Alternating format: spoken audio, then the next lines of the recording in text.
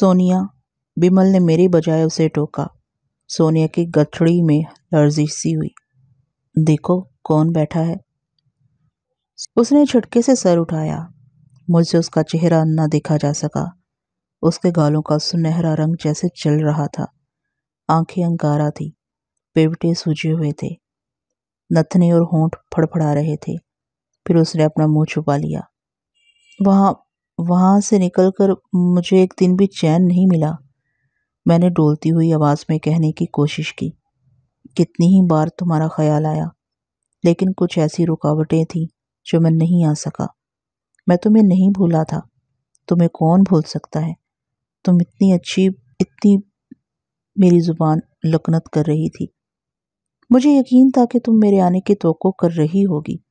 चलते वक्त मैंने तुमसे वादा भी किया था मुझे सब कुछ याद है। वहाँ की एक एक बात, घर का सारा नक्शा, यहाँ तक के दीवारों का रंग भी, तुम्हारे हाथ के खानों का जायका, तुम्हारे कपड़ों के रंग, मुझे सब कुछ याद है। इतने दिन साथ रहा था। लफ्ज़ मेरे मुँह में गडमड हो गए थे। न जाने मैं क्या कहना चाहता था और क्या कह रहा था। उसकी सिस्कारी सुन के मेरे हवास और मुंतशर हो गए। मत रो मत रो, मैंने मुस्तरब लहजे में कहा। किस्मत ने हमें फिर मिला दिया है। मैं अब तुम्हारे सामने मौजूद हूँ। समझो, आज से सारे दुख ख़त्म हो गए। समझो, मुझे आज ही जेल से रिहाई मिली है। मुझे सब मालूम हो गया है। बिमल बाबू ने मुझे सब कुछ बता दिया है। यकायक मुझे खुद बहुत एहसास हुआ कि, मुझे खुद ब खुद एहसास हुआ कि मैं क्या कह रहा हूँ। मुझे छुछरी सी आ गई। मैंने अपना हलक तर्क करने के लिए चंद लम्हे तोक़ किया। मैंने इनसे विमल बाबू से कहा है कि ये बम्बई चले जाएँ। मेरी आवाज़ भटकी हुई थी। चंद दिन बाद मुझे भी वहाँ पहुँच जाना है। मैं आ जाऊँगा। तो सब ठीक हो जाएगा। हम साथ रहेंगे। वहाँ और लोग भी हैं। मैं तुम्हें अपने साथ हैदराबाद ले चलता, लेकिन मैं अकेला नहीं हूँ। सामने की परत पर ये मेरे अब्बा जान सो रहे हैं। ऊपर की बर्थों पर जो लोग हैं, वो भी गैर नहीं हैं। तुम घुटन महसूस करोगी, और फिर मैं तो आ ही रहा हूँ। तुम्हें शायद ज़्यादा इंतज़ार न करना पड़े। वहीं तुमसे ठीक तरह बातें होंगी। वहाँ वक्त ही वक्त होगा। उसने कोई जवाब नहीं दिया। विमल के टोकने पर भी नहीं। मेरे सर में भिनभिनाहट सी हो रही थी। वो अपने आप में बंधी बैठी रही। मुझे कुछ सुझाई नहीं देता था कि उससे और क्या कहूँ। उसके सामने मैं खुद को भी अजनबी लग रहा था। सोनिया सोनिया। विमल ने आहिस्तगी से उसे दोबारा मुखातिब किया। उसकी लंबी लंबी उंगलियाँ आपस में पेवस्त थीं। वो कसमसाने लगी। ये क्या? विमल शिकायती लहजे में बोला। तुमने सुना जहीर साहब क्या कह रहे हैं? ठीक है ना? वो दुल्हनों की तरह सर हिला के रह गई। तुमने जैसा मुझे बताया था, ये बिल्कुल वैसे ही हैं। मैंने अपने दिमाग में इनकी जो तस्वीर बनाई थी, ये उससे बहुत ही मिलते जुलते हैं, किसी राजकुमार या शहजादे की तरह। उनका चेहरा मुझे अजनबी महसूस नहीं हुआ। वो तेज़ी से बोला। सोनिया के सरापा में एक सानिए के लिए कोई चमक सी उठी और मांद पड़ गई। बेख्तियार, मेरा जी चाहा कि उसे अपने बाजुओं में भर लूँ। उसे खूब प्यार करूँ, उसके तमाम आँसू पी लूँ। लेकिन मेरे बाजू ऐंठते रहे। फिर विमल भी चुप हो गया। देर तक सकूत तारी रहा, यहाँ तक कि गाड़ी की रफ्तार मधम पड़ने लगी। मैं नहीं उठा। सोनिया को इस हालत में छोड़कर उसके पास से उठ जाना ठीक नहीं मालूम होता था। मैं अपने जहन में वो लफज ढूंढ रहा था जो सोनिया से कह सकूँ और उसे तसल्ली दे सकूँ।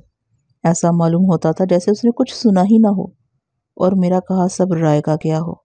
या मेरी ज़ुबान से कोई लर्जिश हो गई हो? विठल कहता था, आँखों की रोशनी इतनी ज़रूरी नहीं जितनी सर की ज़रूरी है। सर में अंधेरा भर लो तो आँखों को भी नज़र नहीं आता। उसी लम्हे बिमल मुझसे माजरत करके उठ खड़ा हुआ। साफ़ ज़ाहिर था कि वो मुझे सोनिया से बात करने का मौका देना चाहता है। मेरी ज़ुबान से एक लफ्ज़ नहीं फूटा। चंद मिनट बाद बिमल वापस आया तो गाड़ी आहिस्ता आहिस्ता रुकने लगी थी। कोई स्टेशन आ रहा था।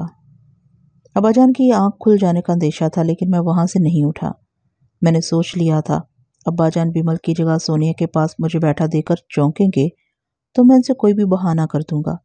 कह दूँगा, सोनिया मेरे एक मोहसिन की बेटी है। गाड़ी ठहरी तो अब्बाजान आँखें मलते उठ बैठे, और वही हुआ। इधर उधर भटकती हुई उनकी नज़रें मुझ पर पड़ी तो ठुटक सी गई, लेकिन दूसरे ही लम्हे वो मुस्कुराने लगे। उन्होंने पीरू को आवाज़ दी। पीरू पहले ही जा गया था और नीचे उतरा ही चाहता था। गाड़ी किसी गैर मुतवक़ स्टेशन पर ठहरी थी। स्टेशन पर चहल पहल नहीं थी। पीरू के साथ जोरा और मार्टी भी यके बाद दीकरे नीचे आ गए। वो तीनों भी मुझे सोनिया के पास इतने करीब बैठे देखकर हैरान हुए, लेकिन मुँह से कुछ नहीं बोले। मेरा यहाँ बैठना उनके लिए इतना अजीब नहीं होगा जितना हम तीनों का गुमसुम होना।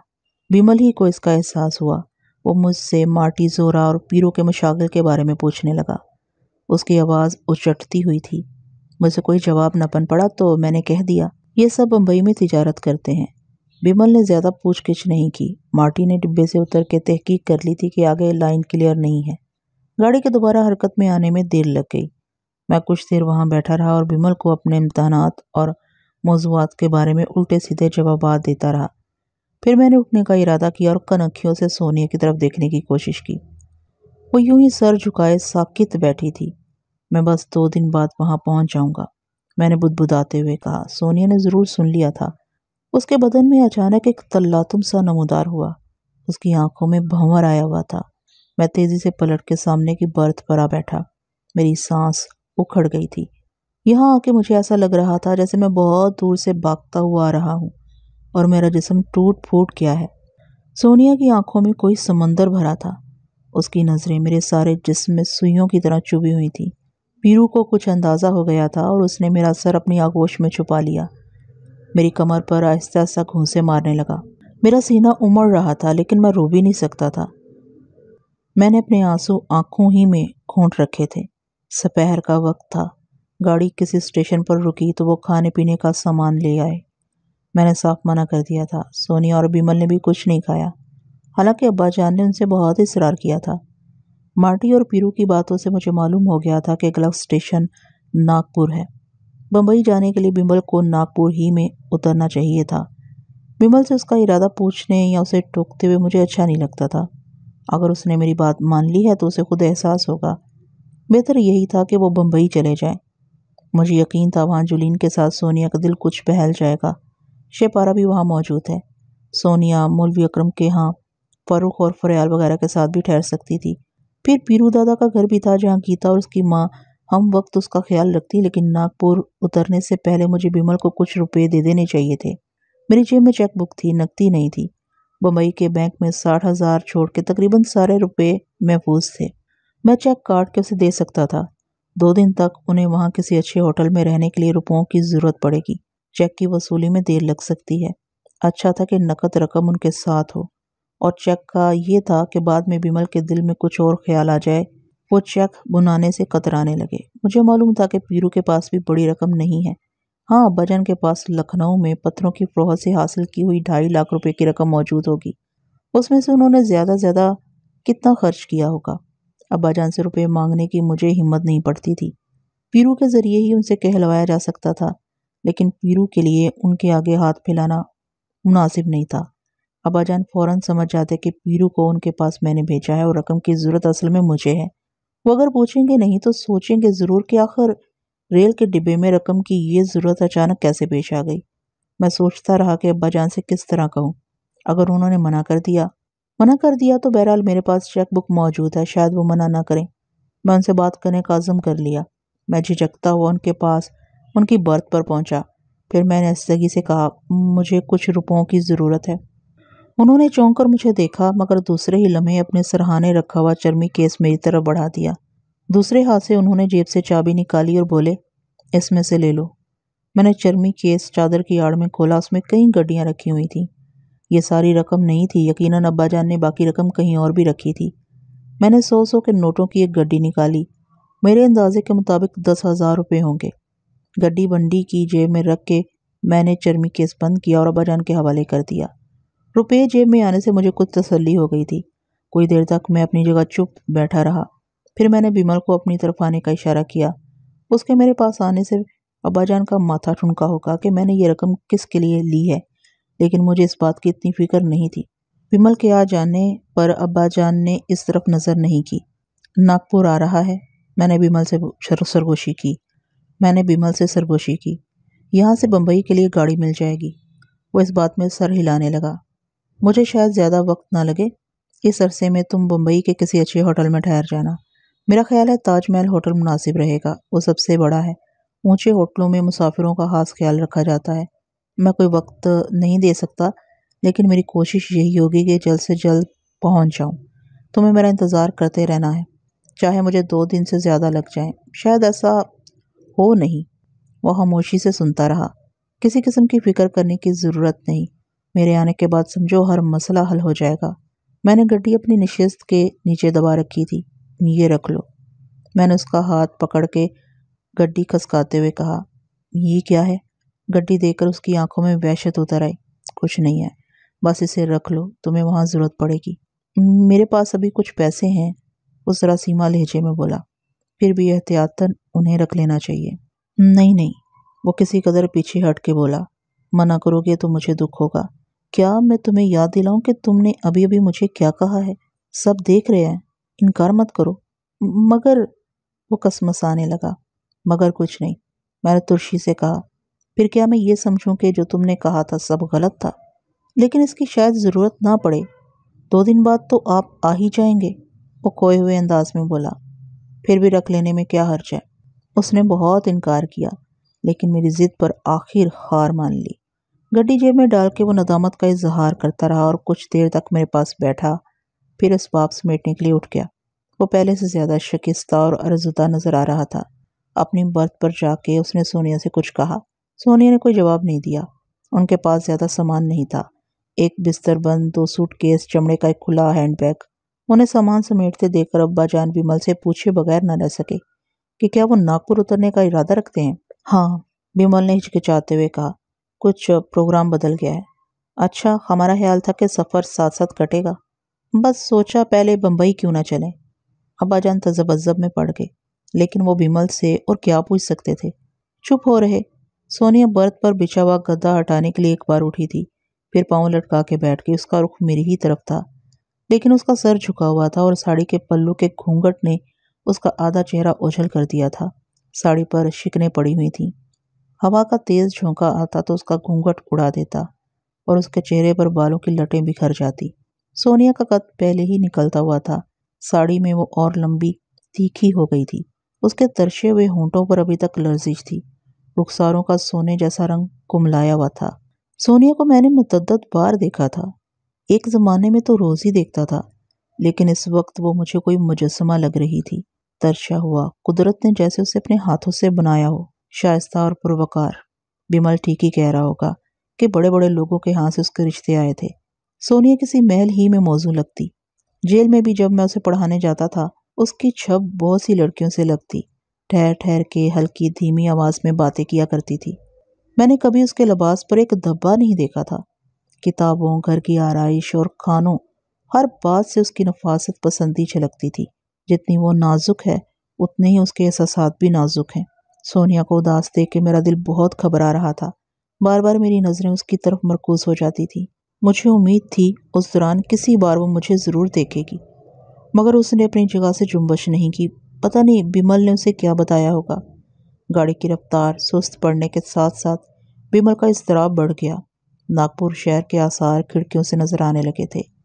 थोड़ी देर में वो चले जाएँगे, फिर डिब्बे में हम ही रह जाएँगे। मैंने उनसे जाने को कह तो दिया था, लेकिन अब मुझे कुछ अजीब मालूम हो रहा था कि ये हमसे जुदा हो रहे हैं। कल सुबह तक वो मुसलसल सफ़र करते रहेंगे, शायद उन्हें शायद यूँ नहीं जाना चाहिए था। बिमल पहले ही कह रहा था कि पुलिस उनके पीछे है। वो बहुत हवास पख्ता घबराया घबराया नज़र आ रहा है। रास्ते में किसी को शक हो गया तो नई उलझने पैदा हो सकती हैं। बम्बई तो पहली मरतबा जा रहा था। बम्बई का हंगामा देख के दोनों वैसे ही उकता जाएँगे। मेरे जी में आई उन्हें रोक लूँ। जैसे अब्बा जान पीरू, जोरा और माटी वगैरह साथ जा रहे हैं। ये भी क्यों ना चलें? जिस तरह वो सब वहाँ रहेंगे, ये भी रह लेंगे। इस सिलसिला में गाड़ी नागपुर स्टेशन में दाखिल हो गई। मार्टी ने दोनों के सूटकेस और बिस्तरबंद उठा के दरवाजे के करीब रख दिए थे। अब मेरा उन्हें रोकना ठीक नहीं था। मैं भला उनसे क्या कहूँगा? और अब्बा जान क्या सोचेंगे? दरमियान का ये मुख्तसर अरसा वो किसी तरह गुजार ही लेंगे। आखिर घर से भी तो यहाँ तक आए हैं। नागपुर से बरदान हासी दूर है। आगे वो और दूर होते रहेंगे। जेलर साहब ने तमाम हिंदुस्तान में मनादी तो नहीं करा दी होगी। बिमल एक होशमंद, तालीमी याफ्ता नौजवान है। संभल संभल के ही कदम उठाएगा। मैं उन्हें रुकते रुकते ठहर गया। सोनिया भी खड़ी हो गई थी। दरवाज़ा खुलते ही पहले मार्टी उतरा और उसने जोरा की मदद से दोनों सूटकेस और बिस्तर बंद नीचे उतार दिए। विमल ने अब्बाजान को सलाम किया। मेरा ख्याल था सोनिया भी उन्हें सलाम करेगी। मगर उसे तो जैसे अपनी कोई शुद्ध बुद्ध नहीं थी। वो विमल के पीछे सहमी हुई एक तरफ़ खड़ी रही। उसका चेहरा मेरे मुकाबिल था। पत्थर की आँखें, रुखसारों पर वीरानी छाई हुई। वो चकराई चकराई गिरी गिरी सी नज़र आती थी। बिमल नीचे उतर गया तो वह दरवाजे तक चली। अब्बा जान भी उन्हें रुखसत करने के लिए खड़े हो गए थे। मैंने इरादा किया था जितनी देर गाड़ी ठहरेगी मैं उन्हीं के पास रहूँगा और जो मैं सोनिया से नहीं कह सका था, इस दौरान कहने की कोशिश करूँगा। सोनिया के कदम लड़खड़ा रहे थे। दरवाजे तक पहुँच के वो ठहर गई और उसने पलट के मेरी जानब देखा। उसकी आँखें फटी फटी थी। मेरे सारे जिसम एक सर्द लहर सी उठी। सोनिया की सांस चल रही थी। उसने अपने होंठ भींच रखे थे। अबाजान करीब ही खड़े थे। मैंने सोनिया को सहारा देने के लिए कदम बढ़ाए और मुझे ऐसा लगा कि वो मुझसे गले मिलने की अरसुमंद है। उसकी आँखें यही कह रही थी, बेख्तियार, मैंने अपने बाजू फैला दिए। सोनिया जैसे टूट के गिरी। दूसरे ही पल वो मेरे बाजुओं में सिमटी हुई थी। उसका दिल, उसके सीने की तेज तेज धड़कने सुन के मेरा जिसम लरसने लगा। मैंने उसे और ज़ोर से दबोच लिया। सोनिया चंद लम्हों तक सिसकती रही। ऐसा मालूम होता था जैसे वो मेरे अंदर बेवस्त हो जाना चाहती है, मेरे जिस्म का जुज बन जाना चाहती है। मगर यकायक उसकी गिरफ्त ढीली पड़ गई, उसकी गर्दन मेरे शानों पर ढुलक गई। उसी लम्हे मुझे अब्बाजान की चीख सुनाई दी। मुझे नहीं मालूम क्या हुआ। मेरा जिसम अफलूज हो गया था। अब्बाजान ने छपट के सोनिया को मुझसे छीन लिया था।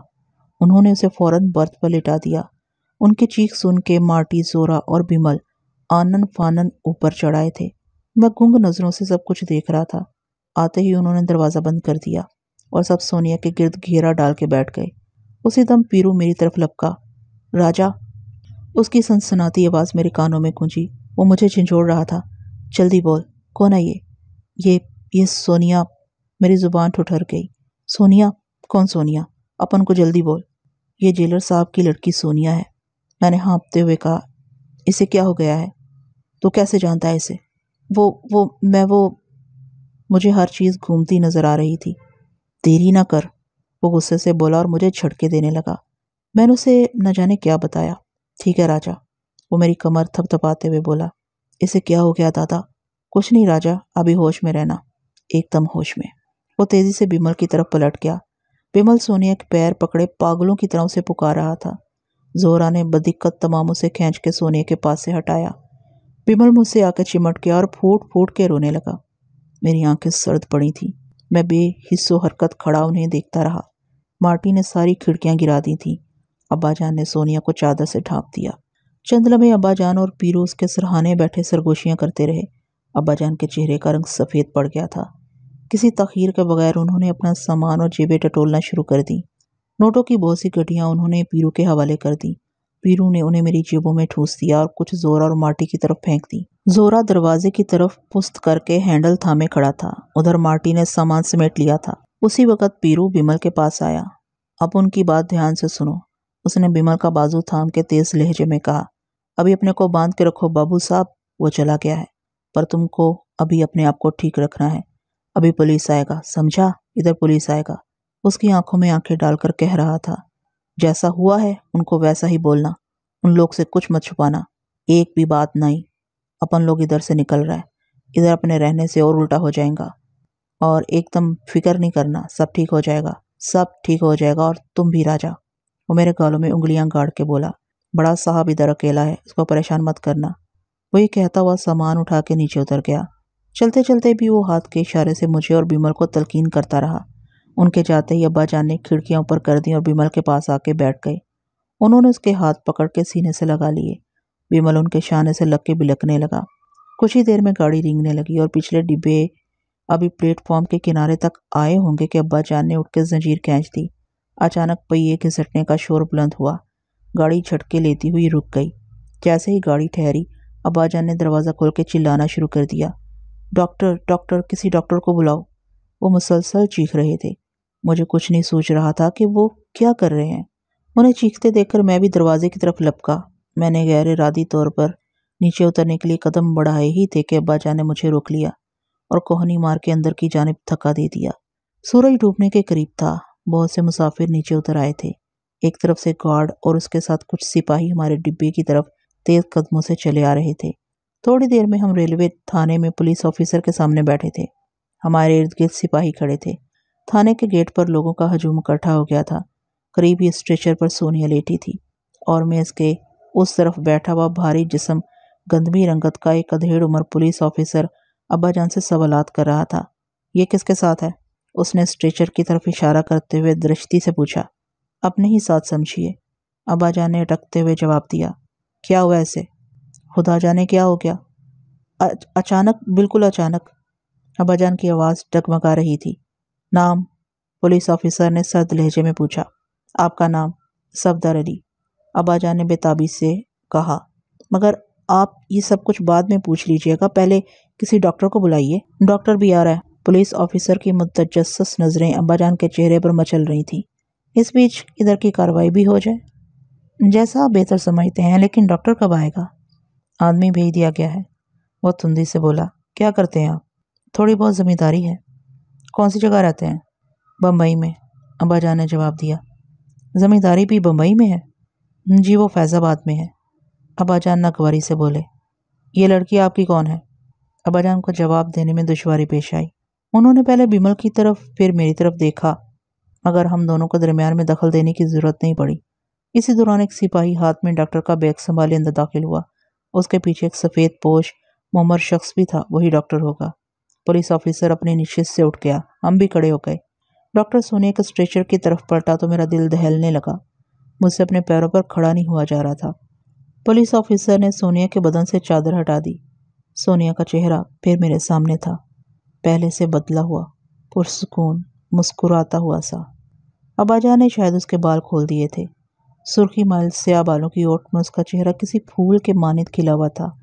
या चाँद की तरह रोशन था। लगता था उसने आँखें मूंद ली हैं। अभी अभी खोल देगी। ए काश, ये आँखें खोल दे।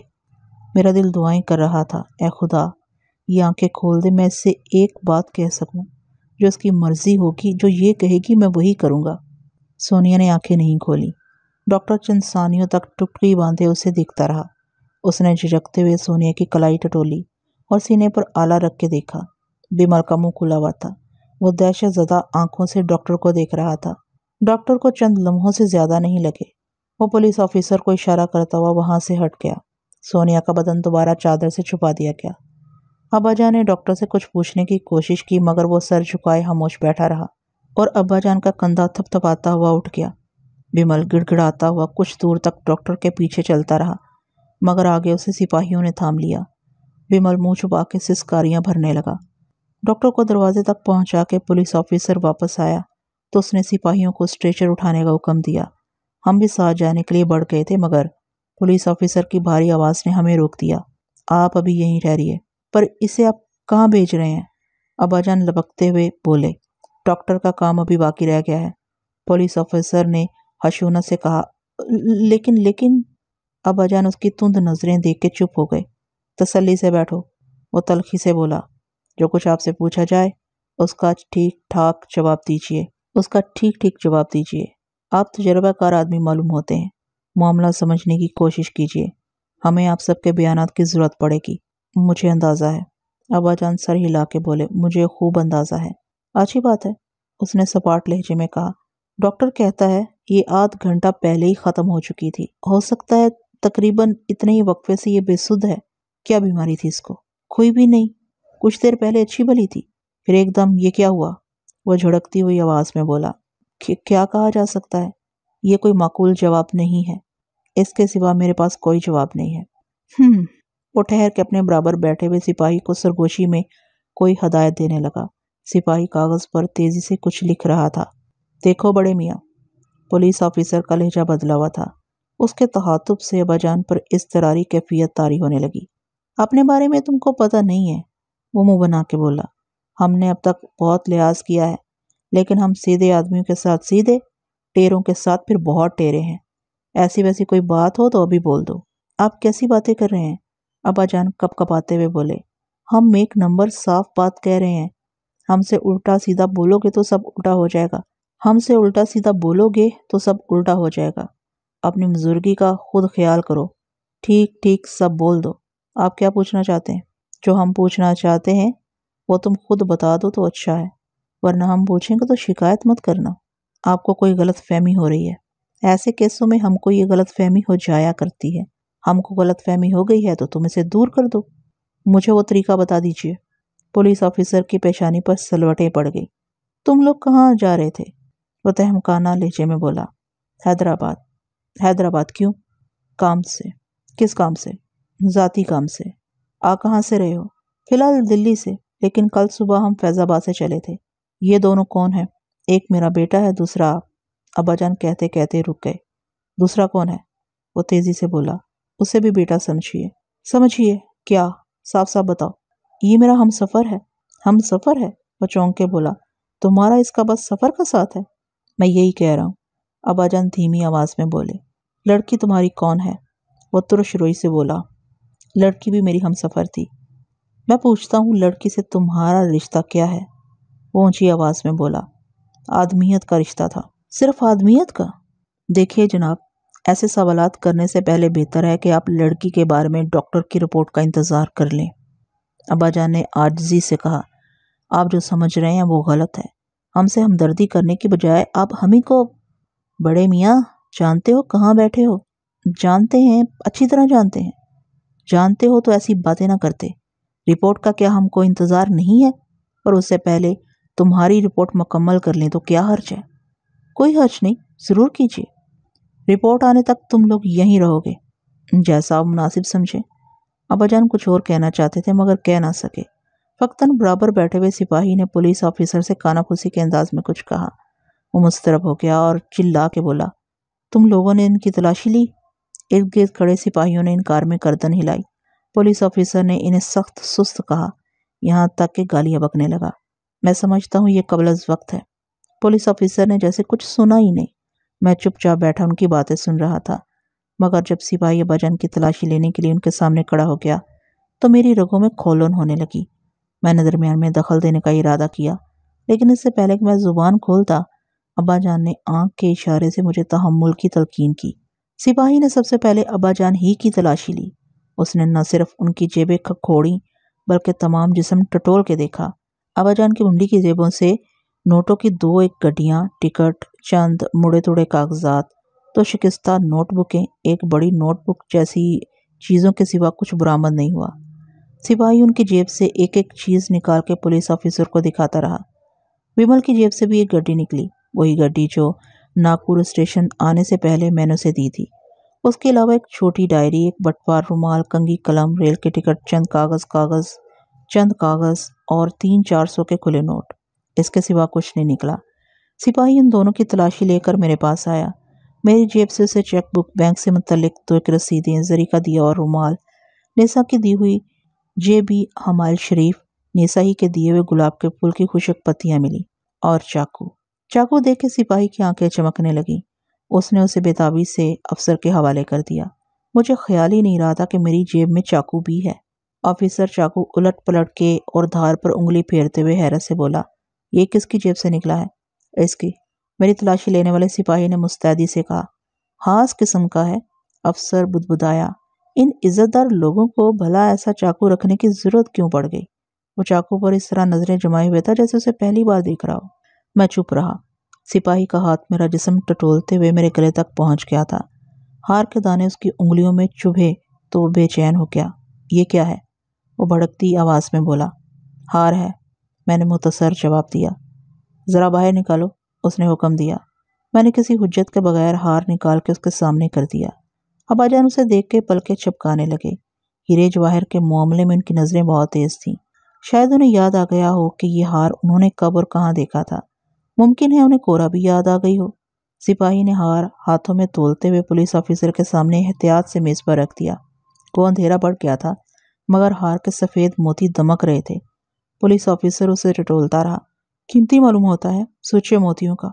उसके बराबर बैठे हुए सिपाही ने भी हार छू के देखा। मुझे शुभ हुआ कि कहीं चाकू की तरह हार भी अपनी मेज़ पर ना रख ले। मैंने तय कर लिया था कि अगर उसने हार वापस न किया तो मैं छपट के खुद उसे उठा लूँगा। लेकिन पुलिस ऑफिसर ने हार अपने पास नहीं रखा, मुझे वापस कर दिया। बैठ जाओ बड़े मियाँ। वो दोबारा अब्बाजान से मुखातिब हुआ। अबाजान ने फ़ौरन उसके हुक्म की तामील की। हाँ तो तुम लड़की से अपना क्या रिश्ता बता रहे थे?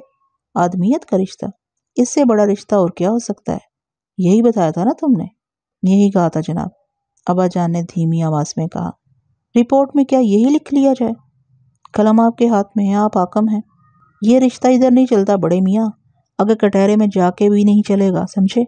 अभी तुमको एहसास नहीं है कि मामला कितना आगे जा सकता है। हम तुम सबको इलाके के थाने के हवाले भी कर सकते हैं। बाद में हमें यही करना पड़ेगा। वो लोग ज़रा दूसरी किस्म के हैं। उनकी ज़ुबान भी दूसरी है। पहले आप मेरी बात सुन लीजिए। अबा जान ने दरख्वास्त की। और मैं यहाँ क्या झक मार रहा हूँ? वो चक्के बोला। वो चक्के बोला। आप बदगुमानी कर रहे हैं। पहले अपने दिल से ये निकाल दीजिए। तुम्हारा मतलब है कि जो तुम कहते जाओ, हम उसे मंजूर करते चले जाएँ।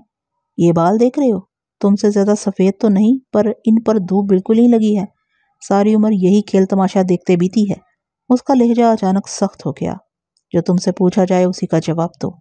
वो फिर तिलमिलाती आवाज़ में पूछने लगा, लड़की का नाम? अबाजान ने हिचकिचाते हुए जवाब दिया, कुमारी सोनिया। कुमारी सोनिया? वो आँखें फाड़ कर बोला, जी। और तुमने अपना नाम क्या बताया था? वो कागज़ देखते हुए बोला सफ्तर अली। तुमने अपना यही नाम बताया था? जी हाँ सफदर अली। वो गुस्से से बोला, लड़की कौन थी? किसी शरीफ घराने ही से ताल्लुक़ रखती थी। मैं उसकी ज़ात पात नहीं पूछ रहा। चक्कर बताओ। कैसा चक्कर जनाब? ये महज एक हादसा था। लड़की मेरे और मेरे बेटे की हम सफ़र थी। दिल्ली से हम, ये मैंने पहले भी सुन लिया है। इतनी सी बात से काम नहीं चलेगा। उसने रसदराना लहजे में अब्बाजान से पूछा, लड़की तनहा थी? नहीं।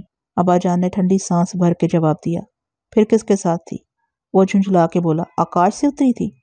वो वो अब्बाजान सरासीमा नज़रों से मुझे और बिमल को देखने लगे। उन्होंने अपनी बात पूरी नहीं की थी कि पुलिस ऑफिसर की तेज़ आवाज़ गूंजी। हाँ हाँ बोलो, रुक क्यों गए? कौन सी ऐसी बात है जो तुम्हें बताते हुए शर्म आ रही है? इन दोनों को बाहर भेज दें? लड़की को किसी ने? मुझसे जब्त नहीं हुआ, मैंने अब्बाजान की तरफ़ देखे बगैर कहा। आपको जो कुछ पूछना हो मुझसे पूछिए। मेरी आवाज़ काँप रही थी। आपके ख्याल में आपको हम पर कोई शुबा है तो उसे दूर मत कीजिए। मैं अपने जुर्म का इकरार कर लेता हूँ। मुझे हवालात में डाल दीजिए, मगर इनसे फजूल सवाल मत कीजिए। पुलिस ऑफिसर ने घूरती नज़रों से मुझे सरतबा देखा। चाकू इसी की जेब से निकला था? उसने बिछड़े हुए लहजे में सिपाही से पूछा। हाँ मेरी जेब से निकला था। सिपाही के जवाब देने से पहले मैंने चीख कर कहा, मैं चाकू चलाना खूब जानता हूँ। ये हमेशा मेरे पास रहता है। तमीज़ से बोलो, ये पुलिस स्टेशन है। मालूम है, पुलिस स्टेशन है। मगर आप भी सीधी तरह बात करें। तुम एक पुलिस ऑफिसर से बात कर रहे हो।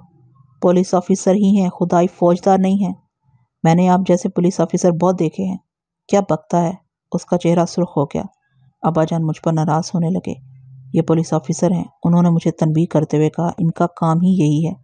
अफसरों से इस तरह बात नहीं करते। माफ़ कीजिए। वो इससे मुखातिब होकर लजाजत से बोले, इसका गुस्सा कुछ तेज़ है, अभी खून गर्म है। इसकी बातों पर तवज्जो मत दीजिए। इसे खोंटे से बाँध के रखो। पुलिस ऑफिसर के बराबर बैठे हुए सिपाही ने गरज कर कहा, इसे को ज़ुबान बंद रखे। साहब का गुस्सा भी देखा नहीं है। अभी तक तुम लोगों से नरमी से बात कर रहे हैं। तुमको होश नहीं है कि तुम अपने साथ क्या लाए थे? एक बेजान लड़की और नौजवान लड़की। पुलिस ऑफिसर ने सिपाही को झड़क दिया और तरख लेचे में बोला, अभी इसने जुर्म का इकरार किया है। किया है। मैंने ठहरी हुई आवाज़ में कहा अबाजान अपनी कुर्सी से उठकर, तेज़ी से मेरी तरफ़ लपके और कप कपाते हाथों से मेरा शाना छिंछोड़ने लगे। आप इतमान से बैठिए। मैंने मतोहश लहजे में कहा, इनके किसी सवाल का जवाब मत दीजिए। ठीक है, ये हमें हवालात में डाल दें। बबरू, खुदा के लिए खामोश रहा। अब्बाजान मेरी मिन्नत करने लगे। मेरी आँखों में घुटन होने लगी। एक मुद्दत बाद मैंने अब्बाजान की ज़ुबान से बबरू सुना था।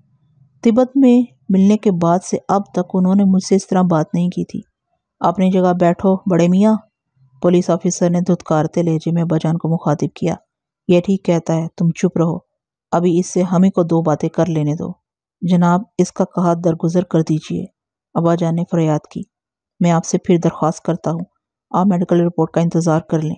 अब्बाजान मेरे ही पास खड़े रहे। वो तो जब आएगी, देखेंगे। मैं इसके लिए हथकड़ियाँ मंगवाता हूँ। अभी इसने क्या इतराफ़ किया है? वो तैश में बोला, आपके पास इसके सिवा क्या रखा है? तजर्बाकार मालूम होता है।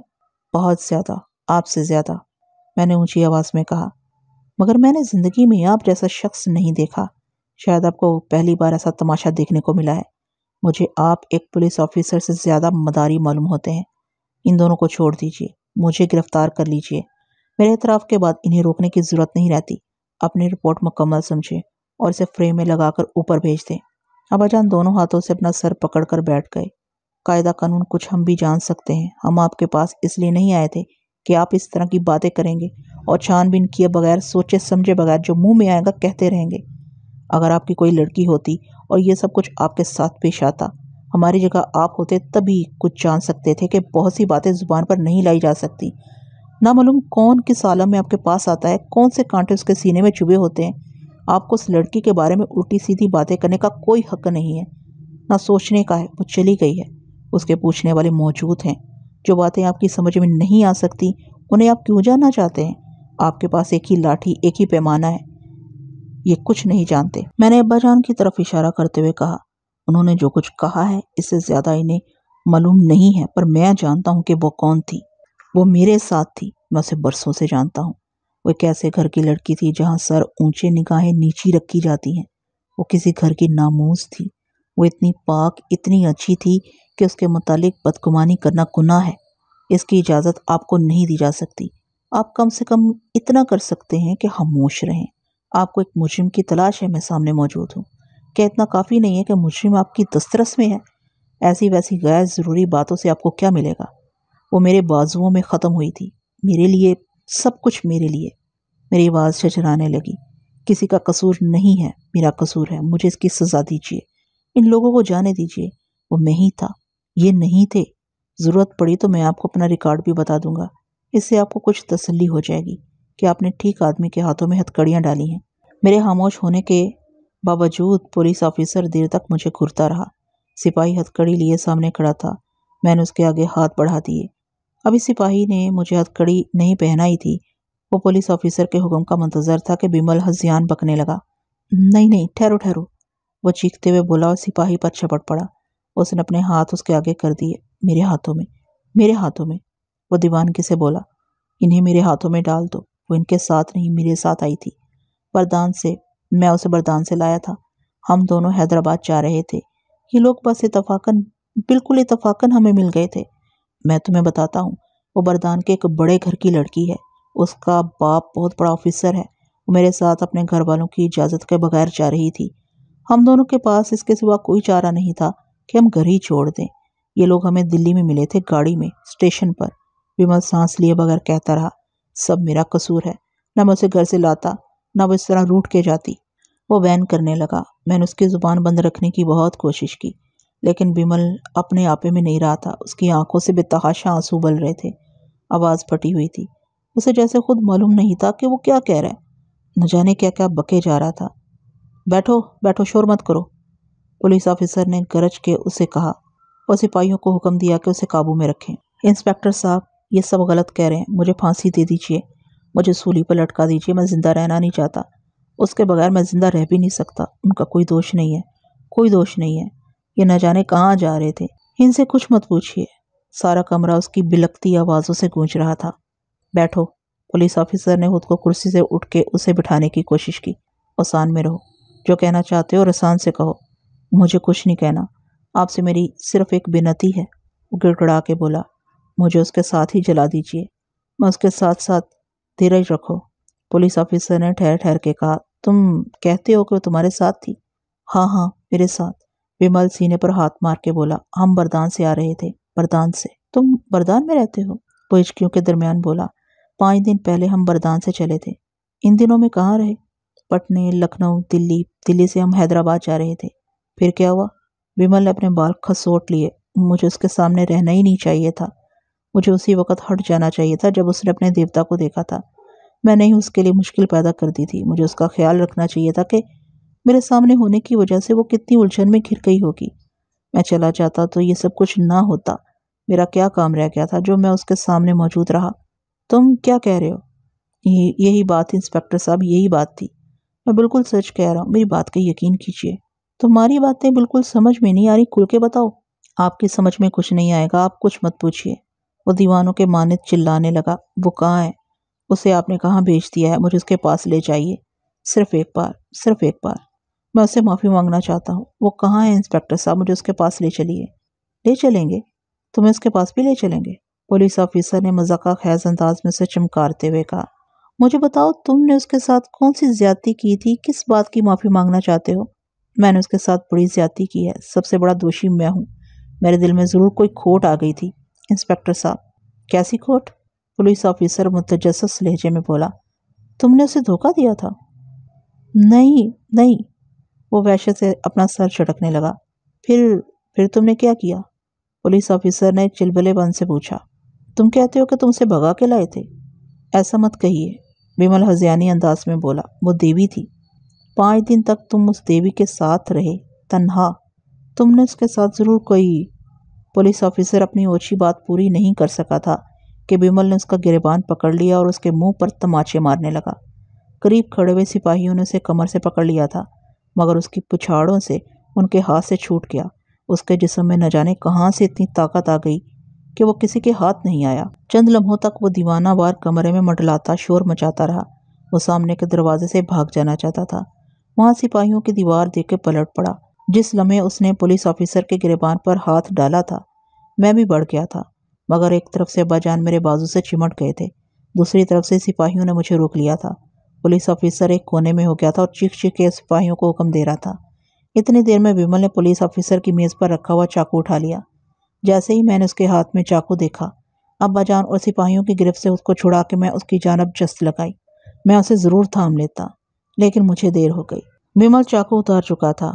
मैंने जब उसे संभाला और चाकू उसके सीने से बाहर निकाला तो वो इतना ही कह सका कि उसे सोनिया के साथ साथ चलाया जाए। इसके सिवा उसे कुछ कहने का वक्त नहीं मिला। उसने मेरे हाथों में दम तोड़ दिया। उस रात के बाद मैंने पुलिस ऑफिसर को नहीं देखा। उसकी बजाय दूसरे कई अफसरान पुलिस स्टेशन आ गए थे। मैंने उन्हें सोनिया के बाप जेलर साहब का पता बता दिया था। अबाजान के सफसार पर एक सिपाही के ज़रिए हमें मेडिकल रिपोर्ट का पता भी चल गया था। लेकिन उन्होंने हमें तीसरे दिन सुबह आज़ाद किया। हम हवालात की कोठरी से बाहर आए तो जेलर साहब वहाँ मौजूद थे। उन्हें अपने सामने देखकर मुझ पर कपकपी तारी हो गई थी। उनकी आँखें सूजी हुई, उबली हुई थी। मुझसे उन्हें सलाम भी नहीं किया जा सका। वो पहले से बहुत बूढ़े नज़र आ रहे थे। मैं उनके सामने किसी मुजरिम ही की तरह खड़ा था। मुझे उनसे बहुत डर लग रहा था कि ये मुझसे कैसे कैसे सवाल करेंगे। मगर जेलर साहब ने मुझसे कुछ नहीं पूछा, एक लफ्ज़ भी नहीं। वो मुझे खाली खाली नज़रों से तकते रहे और उन्होंने खुद ही बढ़कर मुझे गले से लगा लिया। मेरी हिचकियाँ बंद गई। जेलर साहब उल्टा मुझे तसली देने लगे। उस दिन वो सोनिया और बिमल को अपने साथ ले गए। मैंने साथ चलने को कहा था, लेकिन उन्हें अपना ही होश नहीं था, जो मुझे जवाब देते। मैं खुद रुक गया। मैं वहाँ जाके क्या करता? मैंने चलते वक्त उनसे सोनिया और बिमल के चेहरे देखने की भी इल्तजा नहीं की।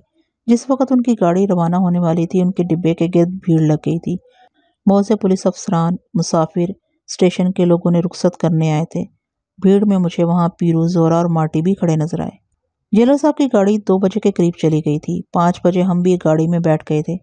हमारे सवार होते ही पीरू, जोरा और माटी भी डिब्बे में आ गए। उन सब के चेहरे धुंधलाए हुए थे और थके हुए भी। मुझे नहीं मालूम था कि वो कौन सी गाड़ी में बैठे हैं, किस तरफ़ जा रहे हैं। मेरा दिल अब कहीं जाने को नहीं चाहता था। अबाजान साथ ना होते तो मैं किसी तरफ़ भी निकल जाता, किसी वीराने की तरफ़, जहाँ आदमी ना रहते हों। अबाजान ने मुझे गाड़ी में बैठने का इशारा किया, मैं बैठ गया। वो ठहरे रहते तो मैं भी ठहरा रहता। मुझे अपनी तरफ़ से कुछ नहीं कहना था। वो जहाँ चाहे ले जाए। मैंने सोच लिया था कि मैं किसी से कुछ नहीं कहूँगा, कोई ज़िद नहीं करूँगा। डिब्बे में चढ़ते ही मैं एक बर्थ पर आकर पड़ा रहा। मेरा बंद बंद दुख रहा था। गाड़ी चली तो पीरू दादा मेरे बर्थ पर आ गया और मेरा सर अपने जानुओं पर रख के मेरे बालों में उंगलियाँ फेरने लगा। मुझे सब कुछ अपनी आँखों का धोखा लग रहा था। जैसे मेरी आँखें झूठ देख रही हूँ। अपना वजूद भी मुझे एक धोखा नज़र आता था। पीरू की थपकियों से मेरा जिसम और ढेर होने लगा। मगर मैं उसे रोक भी नहीं सकता था, मैंने आँखें बंद कर ली थी। लेकिन बुनियाई सिर्फ़ आँखों की ही थोड़ी होती है। उन तीनों के आने के बावजूद डिब्बे के स्कूत में कोई फ़र्क नहीं पड़ा। वो सब एक दूसरे से बेताल्लुक से अपनी निश्चितों पर खामोश बैठे थे। थोड़ी देर में अंधेरा हो गया था। गाड़ी स्टेशनों पर ठहरती हुई आगे बढ़ती रही। स्टेशन आने पर कोई बाहर नहीं गया। रात को पीरू मेरे पास से उठ के चला गया। वो जब तक बैठा रहा, मुझ पर बोझ बना रहा। सब मुख्तलिफ़ बर्थों पर लेट गए थे, लेकिन उनमें से किसी को नींद नहीं आई थी। वो करवटें बदलते और गहरी गहरी साँसें भरते रहे। रात को किसी वक्त अब्बा जान अपनी बर्थ से उठ के मेरे पास आ गए। उन्होंने झिझकते हुए मेरे माथे पर हाथ रखा और झुक के मेरा चेहरा देखा। मेरी आँखें खुली हुई थी। उनके हाथ मुझे अपनी पेशानी पर बर्फ़ की तरह सर्द महसूस हुए। अब्बा जान बेचैनी से मेरे हाथ, कलाइयाँ और मेरी गर्दन टटोलने लगे। मेरा सारा जिसम चल रहा था। वो फ़ौरन ही पलट गए मुझे सामान खखोड़ने की आवाज़ आई। चंद लम्हों बाद वो वापस आए तो उनके हाथ में गिलास था। उन्होंने अस्तगी से मुझे दवा पीने के लिए कहा। मैंने किसी क्रह के बगैर दवा हलक में उंडेल ली। पीरू जोरा और मार्टी भी उठ गए थे। अब्बाजान फिर वहीं मेरे सरहाने बैठ गए और मेरा सर दबाने लगे। उन्होंने कोई इशारा किया होगा जब भी पीरू जोरा और मार्टी मेरे सामने से हट गए थे। अब्बाजान ने मेरा जिसम कंबल चादरों से लपेट दिया था। वो वहीं बैठे न जाने क्या क्या पढ़ के फूकते रहे। बबरू बार बार वो चौंक के मेरे कानों में सरगोशी करते। उन्हें बार बार शायद ये हदशा होता कि कहीं मैं मर तो नहीं गया हूँ। हर बार मैं आँखें खोल के उन्हें यकीन दिलाता था कि मैं अभी ज़िंदा हूँ। मैं उनसे कहना चाहता था कि वो बेफिक्र होकर सो जाए, मेरे लिए इतने परेशान ना हो। मौत मेरी किस्मत में शायद नहीं लिखी है। मैं इतनी आसानी से नहीं मरूँगा, मरने वाले और लोग होते हैं। वो समझ रहे थे कि मुझे कुछ होश नहीं है। मैं उन्हें क्या बताता कि होश जाता ही नहीं। किसी बिच्छू की तरह मेरे जिसम में कहीं चिमट के बैठ गया है। अंदर ही अंदर मुझे डंक मारता रहता है। मैं कुछ देर के लिए आँखें बंद करता हूँ तो मेरी रगे काटने लगता है। मैं आँखें बंद करता हूँ तो मुझे बहुत अजीब अजीब शक्लें नज़र आती हैं। बेहंगम से एक शोर सुनाई देता है।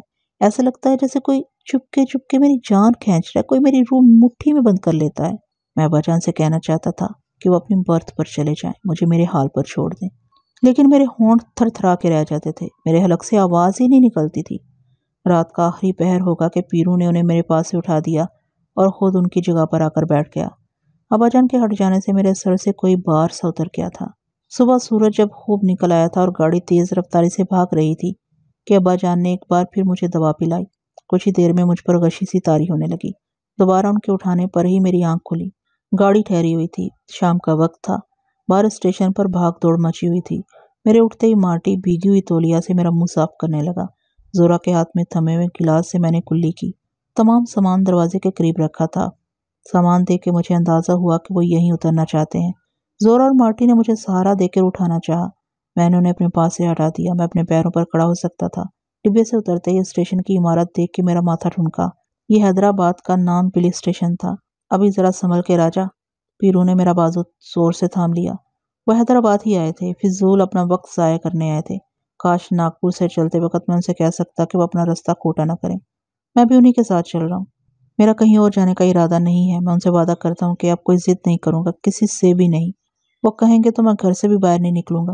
मेरा दिल कहता है, यहाँ कोई नहीं होगा। मगर अब वो हैदराबाद आ ही गए थे तो ना मेरा उनसे लौट जाने को कहना मुनासिब था, ना उससे कुछ हासिल था। मैं उनके साथ साथ कदम बढ़ाता रहा। स्टेशन पर हासी भीड़ थी। बाहर आने पर बहुत से लोगों ने हमें घेर लिया। हर शख्स हमें अपने होटल ले जाने के लिए इसरार कर रहा था। लेकिन अब्बा जान ने शायद पहले ही तय कर लिया था कि वो कौन से होटल में ठहरेंगे। अभी बत्तियाँ नहीं जली थीं। शाम की सुरमई रोशनी हर तरफ़ फैली हुई थी। स्टेशन के सामने तीन अतराफ होटल और चाय खाने बने हुए थे और सड़क पर साइकिलों, रिक्शाओं, गाड़ियों का शोर गूंज रहा था। सवारी के इंतज़ार में हम बाहर खड़े थे। कुछ ही देर में एक जानब से जोरा मोटर में बैठा हुआ आया। हम उसी में सवार होकर आबिद शाह रोड पर वाक़ विकाजी होटल में उतर गए।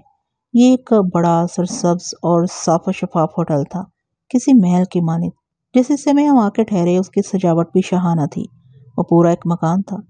सोने के लिए दो कमरे, बैठने का एक वसी कमरा, कालीन फानूस सोफे, बड़ी गोल मेज, आईने, खिड़कियों पर रंग बिरंगे पर्दे, वहाँ दुनिया भर की चीज़ें मौजूद थी मदब बवर्दी खिदमतकार अलग।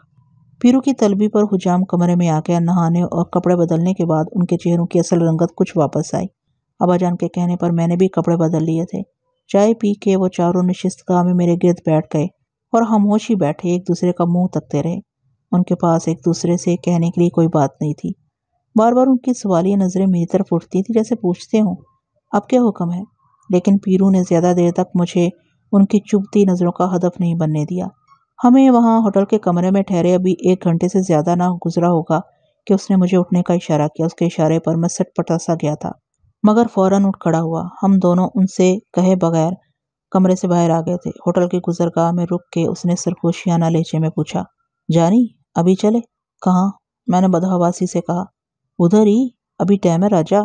दिया जले देरी नहीं हुआ है। हाथ पैर ठीक चलता है तो अभी उधर जाके देखता है। नहीं दादा, कहीं मत जाओ। क्यों राजा? वह हैरानी से बोला, बस दादा, घर चलो। ओए नहीं। वो मेरी पीठ पर थप मारते हुए बोला ऐसा कैसे बोलता है? इधर फिर क्या मखौल करने को आया है? हाँ ऐसा ही लगता है। मैंने बेचैनी से कहा, मेरा जी नहीं चाह रहा। कहीं जाने को नहीं चाहता। वहाँ जाने से कुछ भी नहीं होगा। कहीं भी कहीं भी जाने से कुछ नहीं होगा। बस दादा, घर लौट चलो। इधर भी कोई नहीं होगा। कैसे नहीं होगा वो तुनक के बोला। उधर तूने अपनी आँखों से देखा था ना? पता। देखा था, लेकिन उसने मुझे गले से चिमटा लिया और कहने लगा कि यूँ हौसला नहीं हारते। आदमी को आखिरी दम तक उम्मीद बाकी रखनी चाहिए। दादा, मुझे डर लग रहा है। मैंने डूबती आवाज़ में कहा, काहे का डर? वो मेरे बाजू पकड़ के झिझोड़ने लगा और बेकरारी से बोला, अब उन ये क्या सुनता है राजा जानी?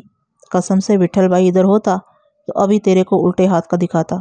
मेरी बात मान लो दादा। मैंने आज जी से कहा, अभी सब कुछ अपन बुर छोड़ दे राजा। अपने आप पर इतना बोझ मत डाल। इधर अपन का कुछ ठीक चलता है। वहाँ के मटका के बोला, फिर नरमी से कहने लगा, पर अपन समझता है, अभी तेरे माथे से उधर नागपुर वाला परी का नशा नहीं उतरा है। ऐसे उतर भी नहीं सकता राजा, वो तुझको जामनी बाई वाला बात याद होगा। उधर भी साला ऐसा ही कुछ हुआ था। ऊपर जाके जामनी बाई अभी तक अपन से मस्ती करता है। चाकू वो अपने को मार के नहीं गया था। अब उनकी छाती में भोंक के गया था, पर राजा, तेरे दादा ने मर्द बन के ही जामनी बाई का दाव भुगताया है। जामनी बाई के टाइम अपन भी तेरी उम्रों का था। सोनिया अपन को भी वो एकदम देवी के माफक मेरा जिस्म पथराने लगा था। फिर मुझे धकेलता हुआ तेज़ी से आगे बढ़ गया। अभी चल के उधर देखता है। वो हतमी लहजे में बोला, साला, अब नहीं तो सवेरे का गाड़ी पकड़ लेगा। अभी तो अपने मन में अंधेरा रख के ही चल। ज़्यादा ज़्यादा लौट आएगा। फिर और क्या होगा वो होटल से बाहर आ गया था। गेट के सामने ही हमें हाथ का रिक्शा मिल गया। उसे याद था कि मुरादाबाद के मुसाफिर आने के रजिस्टर में मौलवी साहब ने हिमायत नगर का पता लिखवाया था। आबद शाब रोड से वहाँ का फासला इतना ज़्यादा नहीं था। रोशनियाँ जल चुकी थी, लेकिन अभी अंधेरा गहरा नहीं हुआ था। सड़कों पर हर जानब राहगीरों और सवारियों का अजदाम मुतहरक था। सारी दुकानें खुली हुई थीं।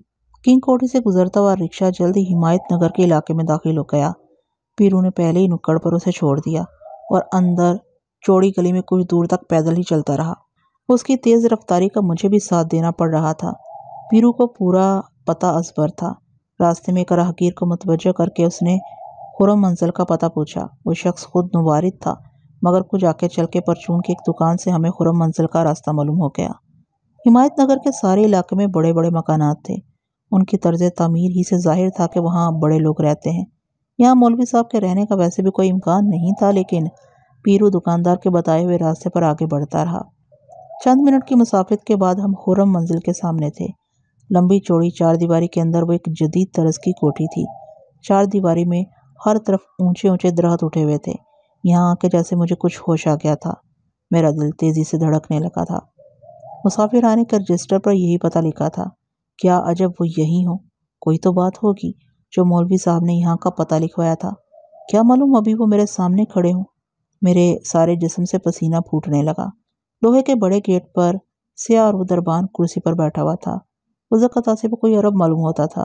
वीरू ने उसे सलाम किया और तस्दीक की कि हुरम मंजिल यही है।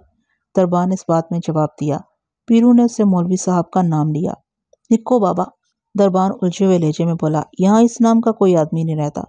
यहाँ नवाब गाजी सरवत यार जंग रहते हैं। मैंने गहरी सांस ली। ये सुनकर मुझे कुछ सुकून सा मिला था। इधर मौलवी मोहम्मद शफीक नाम का कोई आदमी नहीं रहता? पीरू ने तकरार की, अभी क्या बोला आपको? दरबान ने तलखी से कहा, कभी रहता भी नहीं था? दरबान ने उसे बताया कि जब से कोठी तमीर हुई है, यहाँ एक ही ख़ानदान रहता है, नवाब कुदरत यार जंग का ख़ानदान। फिर उसका जवाब सुन के चंद लम्हे तम सादे खड़ा रहा। मैंने बीच में दखल नहीं दिया। क्या अपन नवाब साहब को मिल सकता है? पीरू ने उससे तजा की अपन बहुत दूर से आए हैं। हो सके तो अपने साथ थोड़ा मेहरबानी करो। दरबान कसमसाने लगा और आखिर पीरू के इसरार पर आमादा हो गया। हमें वहाँ ठहरा के और दरवाज़ा बंद करके वो कोठी में गया और चंद ही मिनट बाद वापस आ गया। नवाब साहब ने इजाज़त दे दी थी। दरबान ने हमें इमारत के एक रास्ता कमरे में ले जाके बिठा दिया। अंदर से एक मुलाजमा ने आके हमारे आगे खुश्क मेवा कैबे के प्याले रख दिए। कुछ देर बाद शेरवानी में मलबूस दरमियाने कद मज़बूत काठी का एक शख्स अंदर दाखिल हुआ। उम्र पच्चीस साल के करीब होगी। रंग सुरमई, आँखें बड़ी और लाल लाल थी। हम दोनों खड़े हो गए। न्याजमंद को सरवत यार कहते हैं। वो भारी आवाज़ में बोला और हमें बैठ जाने का इशारा किया। वो हमें देख के कुछ मुतजब सा हो गया था, लेकिन मुतानत से पूछने लगा कि वो हमारी क्या खिदमत कर सकता है। आप उनको एक आदमी की तलाश है, नवाब साहब। पीरू ने दबे लहजे में ज़ुबान खोली। आप उनको पता लगा था कि वो इधर ही रहता है। कौन से आदमी की? नवाब ने तरदूत से पूछा। उसका नाम मौलवी मोहम्मद शफीक है। मौलवी मोहम्मद शफीक। हाँ हाँ पीरू ने इसराब से कहा। अपन को मुरादाबाद से पता चला था कि वो इधर ही रहता है। अपन ने इस वास्ते आपको तकलीफ़ दिया है। अगर वो इधर नहीं रहता तो शायद आप उसके बारे आप मुरादाबाद वाले मौलवी शफीक को पूछ रहे हैं ना? मेरे कान धमकने लगे थे। पीरू की बजाय मैंने तेज़ी से कहा हाँ वही वही। मौलवी शफीक साहब, क्या क्या आप उन्हें जानते हैं? उसके माथे पर सिलवटें पड़ गई। हाँ वो पलके पटपटाते हुए बोला, मुझे उनसे किसी कदर न्याज हासिल है, लेकिन असल में यक यक वो कुछ कहते कहते रुक गया और मुतहश निगाहों से हमें घूरता हुआ बोला माफ़ कीजिए, मुझे आप हजरात के तारुफ का मौका नहीं मिल सका। ओ, पीरो उछल के बोला, इसका नाम बाबर जमा है और अपन अपन का अपन का नाम सफदर अली। पीरू को जल्दी में कोई और नाम याद ना आया तो उसने अब्बा जान ही का नाम ले दिया। नवाब ने सर हिलाकर कहा, वो कुछ और पूछना चाहता था कि पीरू ने उसे बोलने नहीं दिया। अपन मौलवी साहब की खोज में है, बहुत दिनों से उसका कोई पता नहीं चला। जैसे ही अपन को मुरादाबाद में इधर का मालूम हुआ अपन सीधा हैदराबाद आ गया। अपन बहुत मजबूरी में आपके पास आए। अगर आप कुछ जानते हो तो अपन को बता दो। आपका बड़ा एहसान होगा। पीरू ने एक ही सांस में कहने की कोशिश की। ज़रूर ज़रूर, नवाब झिझकते हुए बोला। मगर ऐसी क्या बात है जो आपको उनकी इस कदर तलाश है? ऐसा ही है कुछ, नवाब साहब। पीरू ने इसरारी लहजे में कहा। अगर आप सब समझते हो तो मुझे कुछ बताएँ। अभी अपन आपको क्या बोले? समझो अपन को उसका कोई चीज़ लौटाना है। पीरू का जवाब सुन के उसकी आँखों की बेचैनी कम नहीं हुई। शाइस्तगी से बोला, आपकी बात मुझ पर वाजिया नहीं हुई। शायद आपकी मुराद है, आपको उनकी कोई अमानत लौटानी है और वो आपको नहीं मिल रहे हैं। एकदम ऐसा ही है। पीरू उचक के बोला। नवाब मौलवी साहब के बारे में ज़रूर कुछ जानता था। मैंने सोचा उससे वजाहत कर दूँ, लेकिन मेरी साँसें हलक में अटकी हुई थी। आप मौलवी साहब किबला के कोई अज़ीज़ नवाब की बात अधूरी रह गई। पीरू ने बाउजलत कहा, ऐसा कोई बात नहीं है, जो आप कुछ और सोचो। अभी अपन का बात ज़रा ध्यान से सुनो, नवाब साहब। ये मौलवी साहब का रिश्तेदार है और अपन का इससे छोटे बड़े का नाता है। आप उनका बेटा माफिक समझो। उधर बम्बई में आप उनके पाड़े में साथ काम करता है। फिर एक एक लफ्ज़ पर ज़ोर देते हुए बोला, अभी कुछ समझा नवाब साहब? मौलवी साहब आठ नौ साल से मुरादाबाद में नहीं रहता। उसके लिए बहुत परेशान है। पीरू ने रुक के पूछा, ठीक है। नवाब ने मुस्कुराते हुए सर हिलाया। इधर बम्बई में था कि मौलवी साहब सालों बाद वतन लौटा और अपना मकान बेच के फिर कहीं चल दिया। बम्बई से घर लौटने पर इसको पता चला कि मौलवी साहब मुरादाबाद आया था और मुसाफिर आने में ठहरा था। कागज़ पर आपका पता लिखा था। अभी आप नहीं समझे हो तो अपन को बोलो। नहीं नहीं, नवाब ने किसी कदर हजालत से कहा, मैं समझ गया आपको मेरी यह हजत नगवार गुजरी है तो मुझे अफसोस है। आप इतनी दूर से तशरीफ़ लाए हैं, आपके किसी काम आने पर मुझे मुसरत होगी। मगर एक बात गौर तलब है, आप फरमा रहे हैं कि मौलवी साहब सालों बाद मुरादाबाद आए थे और वहाँ से फिर कहीं चले गए। लाजमन वो मुरादाबाद में मुश्तरक दोस्तों और अजीज़ों से मिले होंगे। उनसे ये बात पोशीदा नहीं रहनी चाहिए कि किसी अमानत की वापसी के सिलसिले में उनके अज़ीज़ बाबर जमा साहब उनके लिए मुस्तरब हैं। मौलवी साहब को उनके ज़रिए बाबर जमा साहब का पता भी मिल जाना चाहिए। ज़ाहिर है, मुरादाबाद से अपनी अदम मौजूदगी के सबब आपने इतनी एहतियात यकीनन की होगी कि अगर कोई भूले भटके वो इधर आ निकलें तो आपका बम्बई का पता दे दिया जाए। आपकी गुफ्तु से अंदाज़ा होता है कि उन्होंने आपसे रबता कायम नहीं किया।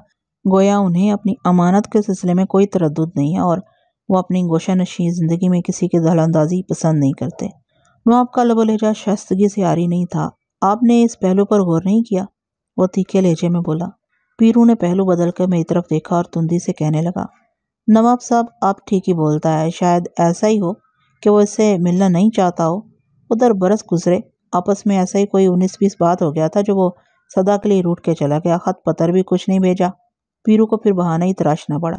कसमसाता हुआ बोला, अभी ये उससे मिलकर माफ़ी मांगना चाहता है। मौलवी साहब की बहन ने उसका जो जायदाद हथिया लिया था, ये उसका बेटा। अब इसको वापस करना चाहता है। इसको उससे मिलने दियो। दोनों एक बार मिले तो सारा बादल खलास हो जाएगा। नवाब ने हनकारी भरी और पहली बार उसके चेहरे पर बशाशत के आसार नमदार हुए, मगर चंद सानियों के लिए। फिर वो जैसे कहीं खोसा गया। अभी आप क्या सोचने लगे हो नवाब साहब? क्या आपको अपने बोले पर यकीन नहीं आता है? पीरू ने से चुप देख के टोका। नहीं हज़रत वो सर उठा के बोझल लहजे में बोला, ऐसी बात नहीं है। फिर आप चुप क्यों होते हो? सोचता हूँ क्या बताऊँ, आपके किस काम आ सकता हूँ? नवाब ने अफसरदगी से कहा, काश मैं आपसे ये सब कुछ ना पूछता। आपका इसराब देख के मुझे कुछ वैश्य हुई थी। चूँकि बहरहाल मौलवी साहब से एक रबते खातिर मुझे भी रहा है। न जाने आपने मेरी इन गैर ज़रूरी बातों से क्या तो बाँध ली हो। मुझे आपको पहले ही बता देना चाहिए था कि मैं मौलवी साहब की बिला के मौजूदा कवायब से कतई लाइलम हूँ। क्या मतलब? अभी आप क्या बोलते हो, नवाब साहब? हाँ हज़रत, सच यही है। मैं उनके बारे में कुछ भी नहीं जानता। आपकी तासुर अंगेज बातें सुन के मुझे अब हिफत हो रही है कि मैं आपके किसी काम नहीं आ सकता। आपको आपको कुछ नहीं मालूम? यही समझिए वो माजत खाना लेजे में बोला। मैं आपको बताता हूँ, मौलवी साहब से मेरी शनासाई वालद मरहूम के तवसत से हुई थी। उन दोनों के मुरासिम देरीना थे। मेरा उनका ताल्लुक भी अदब से ज़्यादा नहीं रहा। दो साल हुए वाला साहब अल्लाह को प्यारे हो गए। कोई डेढ़ महीने पहले गालबन इतना ही अरसा हुआ होगा, मौलवी साहब यहाँ तशरीफ़ लाए थे। वो यहाँ आए थे? मैंने डोलती आवाज़ में पूछा। जी हाँ वो तशरीफ़ लाए थे, वो जेरी लबी से बोला। फिर वो कहा, अब उनका मतलब है वो कुछ बोल के नहीं गया? मैं यही अर्ज़ कर रहा हूँ। नवाब के लहजे में मायूसी शामिल थी। बहुत अरसे पहले जब वो तशरीफ़ लाए थे, यहीं क्याम करते थे। लेकिन अब ज़माने बाद उनका आना हुआ। उन्हें यह भी मालूम नहीं था कि उनके रफ़ीक ख़ास वाला साहब इस दुनिया में नहीं है। असल में वो उन्हीं से मिलने आए थे। बाबा जान की मौत उनके लिए एक बड़ा सदमा थी। देर तक सख्ते में बैठे रहे, वैसे भी कुछ परेशान नज़र आते थे। मैंने उनसे गुजारिश की कि वो यहीं ठहरें, जिस तरह वालद साहब मरहूम के वक़्त ठहरा करते थे। इस घर के मकीनों में अब कोई बुज़ुर्ग नहीं रहा। वो उजलत में थे, फरमाने लगे, मैं एक ज़रूरी काम से मुरादाबाद जा रहा हूँ, जल्द ही वापसी होगी। फिर यहीं हैदराबाद में मुस्तकिल क़याम का इरादा है इंशाल्लाह मुलाकात होती रहेगी। मेरी ख्वाहिश है कि हैदराबाद आके आप गरीब हाने ही को अपना घर समझें। आपको कहीं और क्याम की फ़िक्र नहीं करनी चाहिए। चुप हो गए, कोई जवाब नहीं दिया। उनके चेहरे के गुबार से मुझे एहसास हो चला था कि वो किसी दुख में है। लेकिन कुछ पूछने की ज़रूरत ना हो सकी गालबन। उनका यहीं आने का ख्याल होगा जो उन्होंने यहाँ का पता लिखवाया था। अब आपसे मालूम हुआ कि वो मुरादाबाद से रवाना हो चुके हैं। ज़रूर रास्ते में कोई उलझन पेश आ गई होगी जो अब तक नहीं आ सके। यही कुछ तशवीश का बायस था और है मुझे आपसे इतना कुछ जानने की जस्तजू हुई और आपकी दिलशिकनी हुई। दुनिया बहुत बुरी है। अपने साय से भी आदमी को शक होता है। किसी शख्स के माथे पर उसकी नीयत नहीं लिखी होती। इतने दिनों बाद कोई उन्हें अचानक इस तरह पूछता हुआ आता है तो एक बेचैनी पैदा हो जाती है। मेरा ख्याल है कि कुदरती अमर है। आप ही मेरी जगह होते तो